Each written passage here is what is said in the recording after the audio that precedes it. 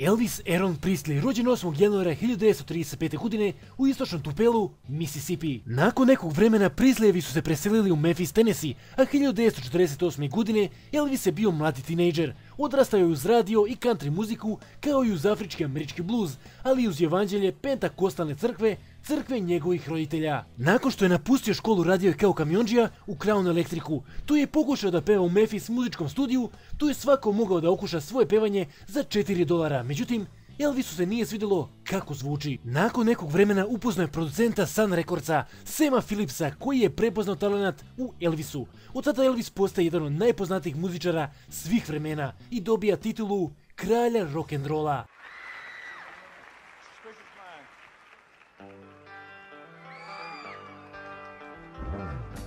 We're caught in a trap.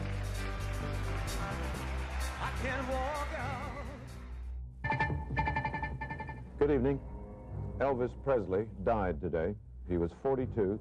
Apparently it was a heart attack. Nakon njegove smrti avgusta 16. 1977. godine, mnogi su počeli da sumnjaju u čudni niz smrti poznatih ličnosti, nizovi koji su se nastavili i decenijama nakon Elvisove smrti. Nakon toga stvorile su se brojne teorije zavere, od kojih su neke zaista nevjerovatne i ostavljaju vas bez daha.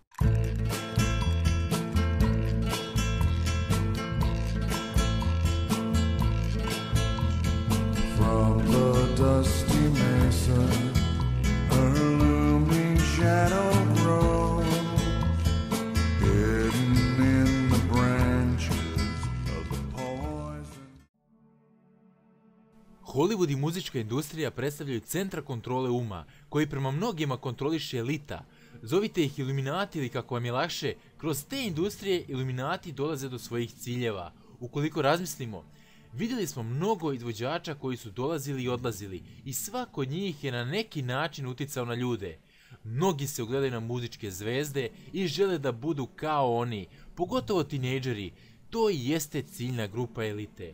U knjizi Fritz Springera i Ciska Fellera, iluminatska formula koja se koristi za stvaranje skrivenog groba, čiji se um kontroliše, piše da muzička industrija i country muzika pogotovo je prepuna umetnika koji rade kao programeri za kontrolu uma, a mnogi od njih su robovi kontrole uma sa podeljenim ličnostima. Oni spominju izme... Christophersona, Chris Christophersona. Oni spominju između ostalog Krisa Christophers... Oni spominju između ostalog Krista Christophersona, Jerry Lee Lewisa i Williana Nelsona kao te takozvane programere, stvorene zarad kontrole uma od strane iluminata. U nastavku teksta navodi se kako su oni naučeni da glume na onaj način koji odgovara vladarima iz senke, kako bi širili skrivene poruke. Elvis je bio programirani rob iluminata i autori teksta ističu da je program rock muzika započet u velikom mahu sa samim uzdizanjem Elvisa Prislija koji bi započeo širenje tih skrivenih mind control poruka. Elvis je u javnosti bio poznat po tome da je bio zainteresovan za jogu, numerologiju, droge i primio je nekakvu duhovnu obuku novog doba u nekoj akademiji u Pasadeni. Također bio je aktivan član Teozovskog društva. Nakon što je Presley navodno umro, The Sun International korporacija izdala je album Elvisa Prisleya koji se zove Orion sa krilatim sunčevim diskom na naslovnoj strani. Krilati sunčevi disk predstavlja važan egipatski magijski simbol koji se koristi od strane Ordo Templi Orientisa ili ti reda istočnog hrama, često se povezuje i sa redom vitezova masona, a organizaciju red istočnog hrama mnogi svrstavaju satanističke delatnosti, a neki je i smatraju crnom magijskim kultom. U svakom slučaju, ovaj red je zastavan na učenju Alistera Crowleya, engleskog okultiste. Hermetička društva povezana sa Ordo Templi Orientisom i sa entološkom crkvom pokušavaju da regrutuju poznate ličnosti i iniciraju ih u hermetičku literaturu, kao što je Elvisova omiljena knjiga The Impersonal Life. Da li on još jedno žrtvi pranja mozga? Pre nego što se vratim na to da li Elvis bio programiran, da pokrijemo još neke zanimljive teorije. Najpoznatija teorija je ta da Elvis nije umro, već se jednostavno povukao, lažirajući smrt.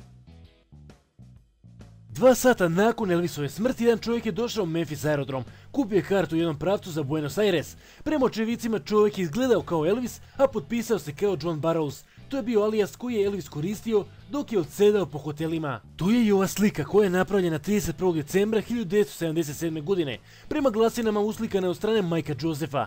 Prema slici navodno vidimo Elvisa u kući. Tokom intervjua Joe Esposito je izjavio da to nije Elvis, već Alstrada. Ali nisu svi bili ubeđeni u to. Slobodno možemo reći da su se nakon smrti Elvisa rodile teorije zavere i mnogi slučajevi.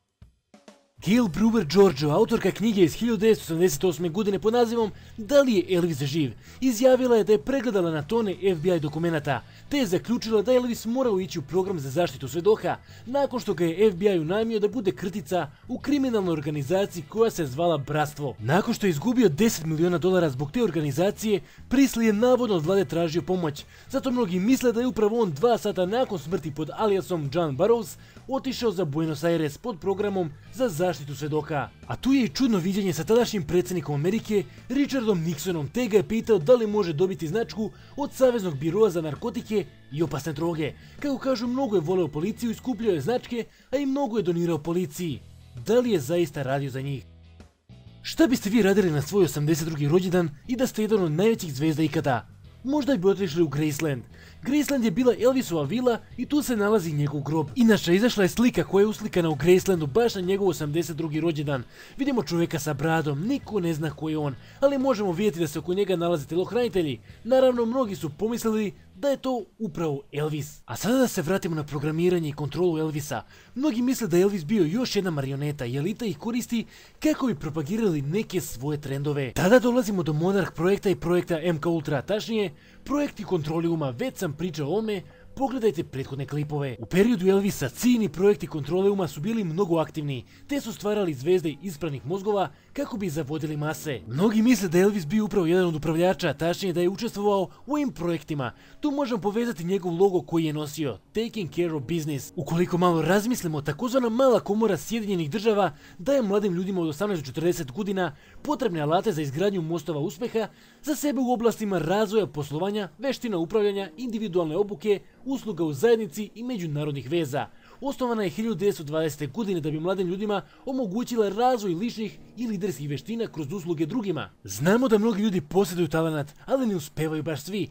Da li je Elvisa neko izabrao da postane popularan? I kako to da mnoge zvezde reklamiraju okultizam, tajna društva i vremenom jednostavno puknu i shvate da nije bilo vredno toga, jer su morali raditi ko zna šta zarad slave i novca. I pazite još ovo, javnost je saznala za projekat MK Ultra juna 1977. godine, a saslušanje senata koji je diskutovao o MK Ultra je bio uživo na televiziji 3. augusta 1977. godine.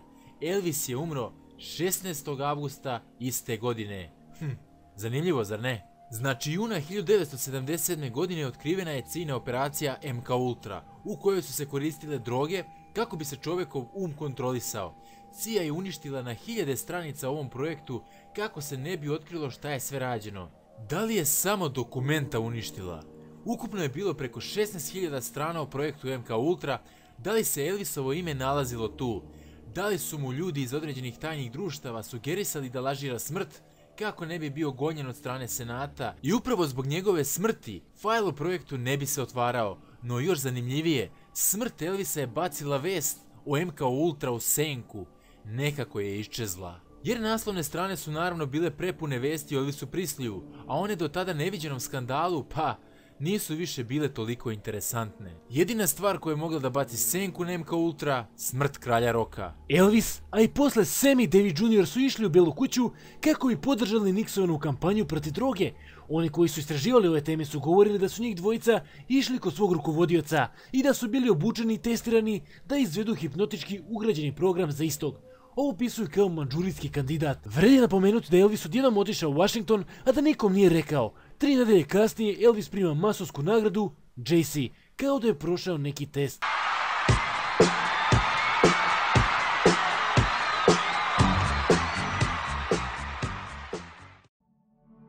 Ako je neko mogao parirati kralju roka po popularnosti, onda je to kralj popa Michael Jackson. Njihove smrti imaju jezive sličnosti.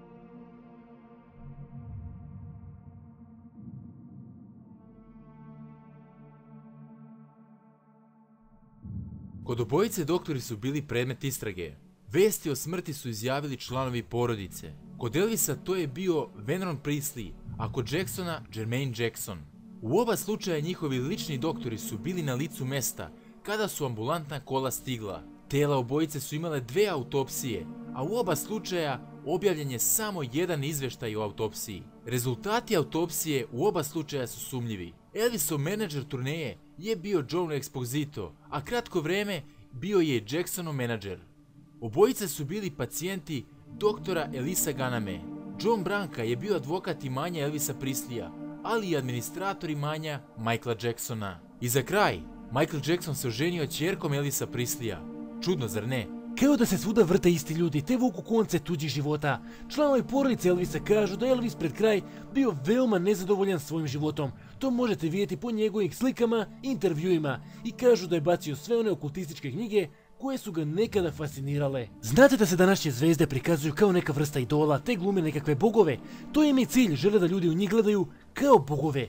Na početku sam rekao da su Prislejevi bili hrišćani i nekako Elvis se vraćao tim korenima. Uspio sam pronaći njegov rijetki intervju. U toj sali gdje je pričao neko je izvadio baner na kojem je pisalo Elvis kralj. Međutim Elvis se zahvalio na tome ali je rekao da postoji samo jedan kralj, a to je Isus. To mi nekako govori kao da Elvis više nije želeo da ga ljudi gledaju kao idola i možda je na kraju shvatio cijelu glupost okultizma, da li nije više htio služiti mašineriji pa su ga možda uklonili ili pak mislite da je neka druga teorija u pitanju, napišite u komentarima.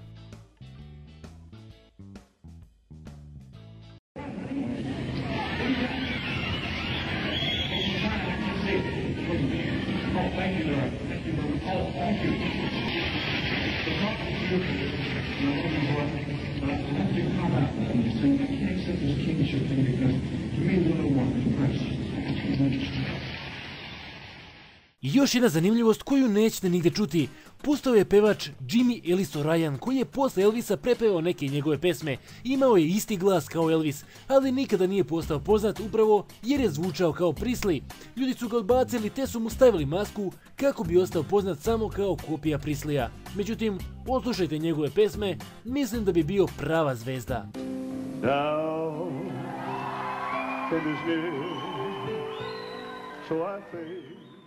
Hvala svima što izdvojili vrijeme za video, zaista bilo je potrebno dosta vremena za ovaj video, ali pokušali smo ubaciti što više detalja i informacija, nadam se da ste uživali u klipu. Koja je teorija po vama najrealnija? Podelite vaše mišljenje u komentarima, također zapratite novog Anonimusa, bacite subscribe. Još jednom hvala vam što me pratite i što se svi dobro slažete, niko se ne svađa, a to je nevjerovatno. Zaista sam ponosan što sam na neki način napravio lepu i zdravu zajednicu u kojoj nema mržnje. Kakve god da su priče za Elvisa, moramo priznati da je imao lepe pesme. Do sljedećeg viđenja. Pozdrav.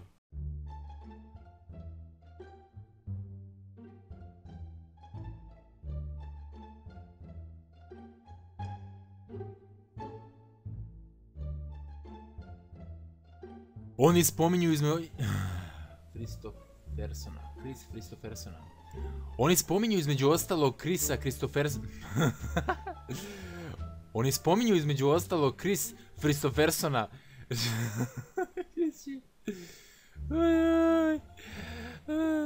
Oni spominju između ostalog Chrisa Christophersona, Jerry Lee Lewisa i Willija Nelsona kao te takozvane programe, prograpičke. Te prograpičke puše kurac.